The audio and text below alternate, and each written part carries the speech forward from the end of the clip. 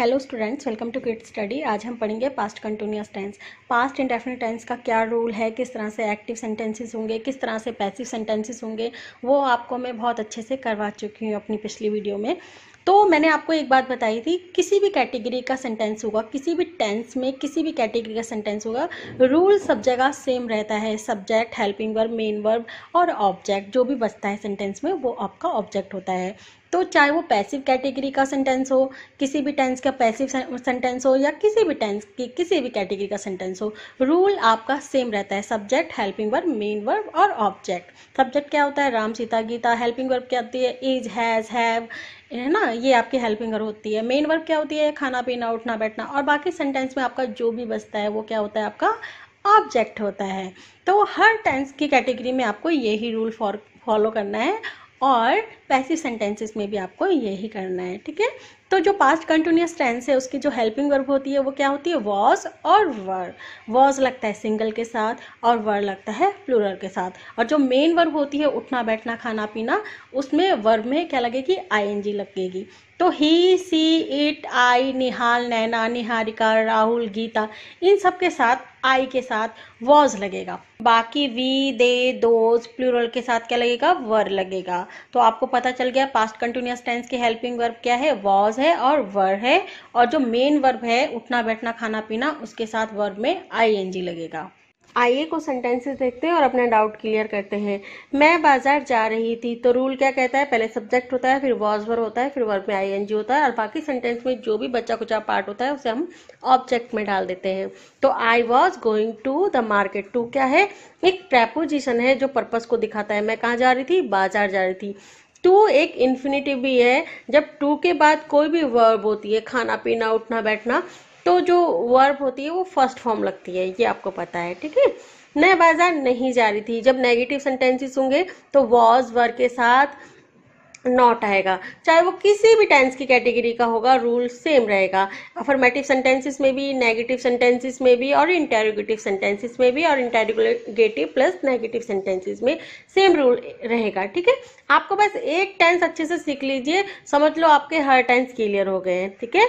तो I was not going to the market क्या मैं बाज़ार जा रही थी? अब देखो ये शुरुआत में जब क्या से शुरू होगा तो किसी भी टेंस की, जिस टेंस का होगा, उसकी हेल्पिंग वर्ब आएगी। तो was I going to market क्या मैं बाज़ार जा रही थी?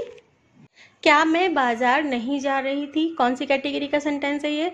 ये है इंटेरोगेटिव प्लस नेगेटिव सेंटेंस क्या शुरुआत में है तो आपको पता है क्या करना है ना? तो was I not going to the market क्या मैं बाज़ार नहीं जा रही थी? आप ना इसमें वैसे भी कर सकते हो, जैसे हमने पास्ट इंडेफिनिट टेंस में किया था ना डिड नॉट तो आप यहाँ पे वॉज़ नॉट भी कर सकते हो। Was not I going to the market क्या मैं बाज़ार नहीं जा रही थी? और जैसे यहाँ पे किया है ना वॉज़ आई नॉट वैसे आप डिड नॉट वाले में भी कर सकते हो। डिड आई नॉट ऐसे भी कर सकते हो। वॉज़ नॉट को साथ भी लिख सकते हो और अलग अलग ऐसे भी लिख सकते हो। डिड नॉट को भी आप ऐसे कर सकते हो। आइए देखते हैं पास्ट कंटिन्यूस टेंस में हम कैसे स्टोरी टेलिंग करेंगे। ये एक छोटी सी लड़की है, नैना, जो अपने बारे में बता रही है। उसने कल क्या किया? कल सुबह मैं बाज़ार जा रही थी, ठीक है? पास्ट कंटिन्यूस टेंस रही थी, रहा था, रहे थे। मैं अकेली थी ये क्या है? स्टेट ऑफ़ बींग है। मैं अकेली थी। वो कुछ कर नहीं रही है। एक सेंटेंस ये है, बाज़ार जा रही थी और दूसरा सेंटेंस मैं अकेली थी। ये स्टेट ऑफ़ बींग है। यहाँ पे आप कोई एक्शन परफॉर्म नहीं हो रहा है, बस मैं अकेली थी। वो ये बोल रहा है। दूसरा सेंटेंस तीसरा सेंटेंस मेरे साथ कोई नहीं था। ये भी स्टेट ऑफ़ बींग है, उसके साथ कोई नहीं था। तो मैं अकेले ही जा रही थी। तो एक सेंटेंस ये है, जा रही थी। यहाँ पे आपका जाने का काम हो रहा है। ठीक है? तो कल सुबह मैं बाज़ार जा रही थी। आपको पता है, रूल आपको पता है, हर सेंटेंस में क्या होगा? Yesterday morning I was going to the market मैं बाज़ार जा रही थी। येस्टरडे मॉर्निंग को आप सेंटेंस के एंड में भी लिख सकते हो, पहले सब्जेक्ट भी लिख सकते हो। Subject I was going to the market yesterday morning ऐसे भी कर सकते हो। आई वॉज़ अलोन मैं क्या थी? अकेली थी। पास्ट में जब आपको स्टेट ऑफ़ बींग बताओगे, मैं अकेली थी, मैं कमरे में थी, मैं उदास थी, तब आप बोलोगे आई वॉज़ अलोन देखो, यहाँ पे कोई भी वर्ड में आई एन जी नहीं है। क्या है ये? स्टेट ऑफ़ बींग है, इसलिए यहाँ पे वॉज़ वर्क का यूज़ हुआ है। प्रजेंट टेंस में जैसे हम इज़ एम आर का यूज़ करते हैं ना, वो कमरे में है, आज बारिश है, आज धूप है, गर्मी है, वैसे ही पास्ट में भी हम स्टेट ऑफ़ बींग के लिए हम वॉज़ का यूज़ करते हैं। No one was with me मेरे साथ कोई नहीं था so I was going alone तो इसलिए मैं क्या जा रही थी, अकेले जा रही थी। धूप बहुत ज़्यादा हो रही थी, मैं गाड़ी का इंतज़ार कर रही थी, मगर गाड़ी एक भी नहीं आ रही थी, इसलिए मैं पैदल चल रही थी। ये पास्ट कंटिन्यूस टेंस के चारों सेंटेंस है अफर्मेटिव सेंटेंस है, एक नेगेटिव सेंटेंस है। मगर गाड़ी एक भी नहीं आ रही थी, आपको लगेगा पास्ट कंटिन्यूस टेंस का नेगेटिव सेंटेंस है, मगर जब सेंटेंस में एक भी का सेंस होगा, एक भी लड़के ने मुझसे बात नहीं कर रहा था, एक भी गाड़ी नहीं आ रही थी, एक भी लड़का नहीं बोल रहा था आपको सेंटेंस के पीछे से रहा था होगा, आप लोगों, आपको लगेगा कि ये पास्ट कंटिन्यूस टेंस का नेगेटिव सेंटेंस है। इसको नेगेटिव सेंटेंसेस की तरह सॉल्व करो। वॉज़ नॉट करके लगाओ। नहीं। जहाँ पे जिस सेंटेंस में एक भी का सेंस होगा, वहाँ पे बट नॉट अ सिंगल और उसके बाद कार होगा, लड़का होगा, जो भी होगा, वहाँ पे आपको वैसे लिखना है। तो धूप बहुत ज़्यादा हो रही थी। धूप क्या है? एक नॉन लिविंग थिंग है। इसलिए हम यहाँ पे इट का या द का यूज़ करते हैं।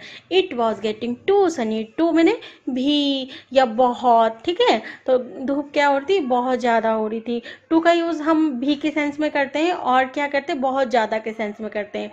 तो धूप क्या हो रही थी? बहुत ज़्यादा हो रही थी। I was waiting for a car मैं गाड़ी का इंतज़ार कर रही थी। देखो, आपको अब पता लग गया है कि मैंने जो आपको बताया कि रूल क्या रहेगा? सेम रहेगा। देखो सब्जेक्ट आई फिर हेल्पिंग वर्ब वॉज़ फिर मेन वर्ब वेटिंग अब आई एन जी लगाएगा, क्योंकि इसमें एक पास्ट कंटिन्यूस टेंस में वर्ब में आई एन जी लगती है। ठीक है? और फिर उसकी ऑब्जेक्ट होगा। तो रूल सेम रहेगा हर टेंस में, हर पैसिव सेंटेंस में, ठीक है? I was waiting for a car but not a single car was coming मगर एक भी गाड़ी नहीं आ रही थी। जब भी आप इस टाइप के सेंटेंसेस करोगे ना तो वहाँ पे आपको ऐसे ही करना है। आपको पास कंटिन्यूस टेंस की तरह नहीं करना है। वॉज़ नॉट इस तरह से नहीं करना एक भी का सेंस जहाँ पे होगा, वहाँ पे आपको इसी तरह से सॉल्व करना है। दैट्स वाई इसलिए आई वॉज़ वॉकिंग इसलिए मैं पैदल चल रही थी। वॉक मैंने चलना, और वॉज़ मैंने था थी। डेट्स वाई मैंने इसलिए इसलिए मैं क्या कर रही थी? पैदल चल रही थी। मैं बार बार पीछे मुड़कर देख रही थी कि गाड़ी आ रही है या नहीं। सब्जेक्ट कौन है? आई, है ना? और मैं क्या कर रही थी बार बार देख रही थी। लुकिंग, है ना? वर्ड में क्या आएगी? आई एन जी आएगी। तो आई वॉज़ लुकिंग बैक। मैंने पीछे, मैं पीछे देख रही थी अगेन एंड अगेन बार बार बार बार के लिए हम बोलेंगे again and again. To see, देख रही थी डैट की द कार वॉज़ कमिंग और नॉट कि गाड़ी आएगी या नहीं। जब इस टाइप के सेंटेंस होंगे, मम्मी आएगी या नहीं, पापा आएँगे या नहीं फ़ोन आएगा या नहीं तो इस टाइप के सेंटेंसेस को इसी तरह से सॉल्व करेंगे। या के लिए हम और का यूज़ करेंगे। मैंने देखा दो लड़कियाँ मेरे पीछे से आ रही थी, वो भी पैदल आ रही थी। इसमें देखो पहला वाला सेंटेंस है, मैंने देखा। ये पास्ट इंडेफिनिट टेंस का छोटा सा फ्रेज यूज़ किया है, मैंने देखा। है ना? दो लड़कियाँ मेरे पीछे से आ रही थी, ये पास्ट कंटिन्यूस टेंस का है। तो एक ही सेंटेंस में दो कैटेगरी के सेंटेंस यूज़ हुए हैं।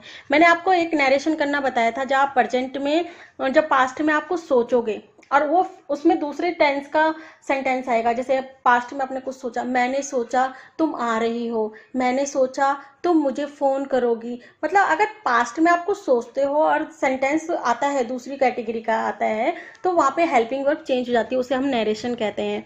ठीक है? जैसे इज़ एम आर होगा तो वॉज़ वर हो जाएगा वॉज़ वर होगा तो वो हैड या हैड बीन हो जाएगा। मैंने आपको बताया था। तो देखो, इस एक सेंटेंस में दो कैटेगरी के सेंटेंस आ रहे हैं। मैंने देखा दो लड़कियाँ मेरे पीछे से आ रही थी। तो एक सेंटेंस जो है, मैंने देखा पास्ट इंडेफिनिट टेंस का है, और दूसरा सेंटेंस किसका है? पास्ट कंटिन्यूस टेंस का है। अगर आप चाहो तो इसे नरेशन करके कर सकते हो, इसे नरेट कर सकते हो, नहीं तो आप अपने डायरेक्टली इसे बोल सकते हो। तो मैंने देखा आई सॉ मैंने आपको एक बात बताई थी कि आप किसी भी टेंस की कैटेगरी में अगर सेंटेंस को सॉल्व करोगे तो रूल सब सबका एक जैसा रहता है। सब्जेक्ट होता है हेल्पिंग वर्ब होती है मेन वर्ब होती है और ऑब्जेक्ट होता है। मगर ये दो कैटेगरी ऐसी हैं जो पास्ट इंडेफिनिट टेंस और प्रेजेंट इंडेफिनिट टेंस इन दोनों में हेल्पिंग वर्ब यूज़ नहीं होती है। सिर्फ़ नेगेटिव सेंटेंसेस और इंटेरोगेटिव सेंटेंसेस में ही हेल्पिंग वर्ब यूज़ होती है। पास्ट इंडेफिनिट टेंस में नेगेटिव इंटेरोगेटिव में डिड लगता है और वहाँ पे प्रेजेंट इंडेफिनिट टेंस में डज और डू लगता है। बस ये दो ही ऐसे हैं जिनमें हेल्पिंग वर्ब यूज़ नहीं होती है। तो आई सॉ मैंने देखा two girls were coming from behind me आप इसको वर्क के साथ भी कर सकते हो और बिना वर्क के भी कर सकते हो। समझ में आ जाएगा कि आप क्या बोलना चाहते हो। मैंने देखा कि दो लड़कियाँ मेरे पीछे से आ रही थी। She was also walking also मैंने भी वो भी पैदल चल रही थी। फिर मैं उन दोनों लड़कियों के साथ बाज़ार चली गई। ये कौन सा टेंस का सेंटेंस है? पास्ट इंडेफिनिट टेंस का सेंटेंस है। पास्ट कंटिन्यूस टेंस के सेंटेंस के एंड में क्या होता है? रहा था, रही थी, ठीक है? तो ये कौन सा टेंस का सेंटेंस है? पास्ट इंडेफिनिट टेंस का। उसमें क्या लगती है? हेल्पिंग वर्ब नहीं लगती है, जो एफर्मेटिव सेंटेंसेस होते हैं। सब्जेक्ट वर्ड की सेकंड फॉर्म प्लस ऑब्जेक्ट फिर के लिए हम क्या कंजंक्शन यूज़ करते हैं? देन का, ठीक है?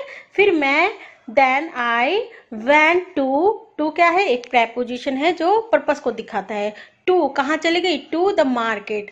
देन क्या लगाया हमने? फिर के लिए लगाया। फिर सब्जेक्ट आई और फिर वर्ड की सेकेंड फॉर्म क्योंकि यहाँ पे हेल्पिंग वर्ब तो लगती नहीं है। आई वेंट मैं चली गई। कहाँ? टू द मार्केट मार्केट चली गई। किसके साथ? के साथ। विद मैंने साथ। दोज मैंने उन। टू गर्ल्स उन दो लड़कियों के साथ मैं बाज़ार चली गई। मैं उम्मीद करती हूँ कि इस छोटी सी स्टोरी से आपका पास्ट कंटिन्यूस टेंस जो है एकदम क्लियर हो गया होगा। तो मैं आपको सिर्फ़ इतना बताना चाहती हूँ कि आप कंफ्यूज मत हो, इतने सारे टेंस हैं या इतनी सारी कैटेगरी हैं हर टेंस के अंदर, आप बिल्कुल कंफ्यूज मत हो। आप एक काम कीजिए, आप किसी भी टेंस का, जैसे पास्ट टेंस में हो या किसी भी आप पास्ट टेंस का एक एक टेंस है, जैसे पास्ट इनडेफिनिट टेंस इसको एक बार अच्छे से देख लो।